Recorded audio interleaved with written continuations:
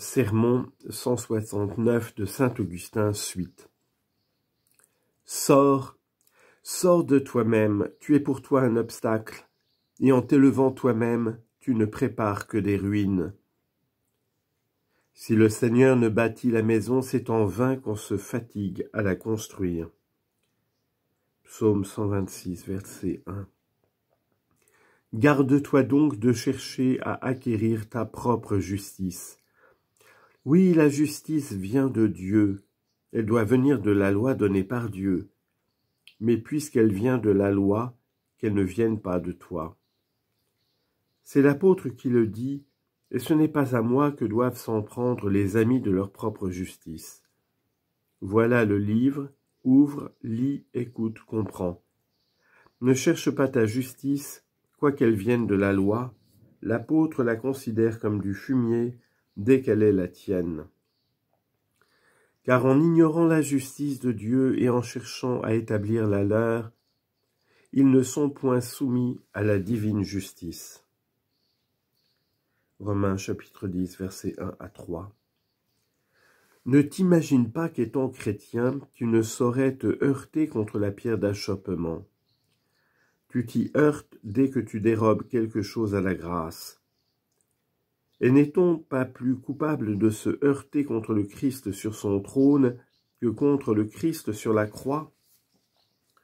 Sois juste, mais par la grâce, par le secours de Dieu, et non par toi, que vos prêtres soient revêtus de justice. Psaume 131, verset 16. On reçoit un vêtement, il ne naît pas avec les cheveux, et il n'y a que les animaux qui naissent tout vêtus. Telle est la grâce que préconise l'apôtre, tu dois l'attendre de Dieu, gémis pour l'obtenir, crois et pleure afin que Dieu te la donne. Celui qui invoquera le nom du Seigneur sera sauvé, est-il écrit. Joël chapitre 2 verset 32. Remarque qu'il ne s'agit pas ici de la guérison de quelque mal corporel, tel que serait la fièvre, la peste, la goutte ou tout autre. Non, celui qui invoquera le nom du Seigneur sera sauvé, c'est-à-dire qu'il sera justifié. Si le Seigneur a dit le médecin n'est pas nécessaire à ceux qui se portent bien mais aux malades, n'a-t-il pas expliqué sa pensée par ces autres paroles Je ne suis pas venu chercher les justes, mais les pécheurs. Matthieu chapitre 9 versets 12 à 13. Aussi voyez ce que dit encore l'apôtre. Je voudrais avoir en lui non pas ma justice qui vient de la loi, car c'est toujours la mienne, mais celle qui vient de Dieu, qui s'obtient de Dieu par la foi au Christ, la justice de la foi, pour le connaître ainsi que la vertu de sa résurrection. Quel bonheur de connaître la vertu de la résurrection du Christ. Êtes-vous étonné qu'il ait ressuscité son corps Est-ce en cela que consiste la vertu de sa résurrection?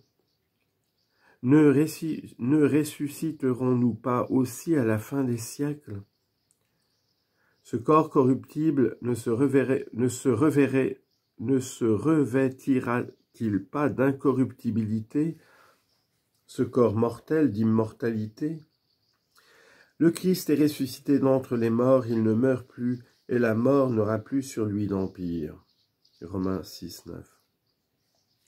Ne ressusciterons-nous pas, si j'ose le dire, d'une façon plus admirable encore? Sa chair est ressuscitée sans avoir été corrompue, la nôtre sortira pleine de vie de la corruption même. Il est beau sans doute qu'il nous ait devancés pour être notre modèle et nous montrer ce que nous devons attendre. Mais ce n'est point là tout ce qu'avait en vue l'apôtre en parlant non pas de sa justice, mais de celle qui vient de Dieu, et en faisant mention de la vertu de la résurrection du Christ, il voulait y faire voir la justification. Car c'est la résurrection du Sauveur qui nous justifie, comme c'était la pierre qui opérait la circoncision. Voilà pourquoi saint Paul a commencé par ces mots, c'est nous qui sommes la circoncision. Comment a-t-elle été produite? Par la pierre. Quelle est cette pierre? Le Christ.